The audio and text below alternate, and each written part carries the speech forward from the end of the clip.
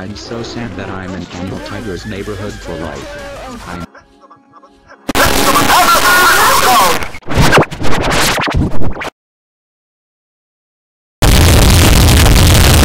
Appear on DVD, VHS, and Blu-ray, and Blu-ray.